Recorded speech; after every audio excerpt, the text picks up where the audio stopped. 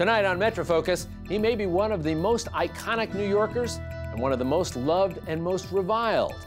Donald Trump has created a firestorm on both sides of the political aisle with his rhetoric and his style. Tonight, we'll look at why he wants the White House and the presidency so badly and what we can expect at tomorrow night's debate.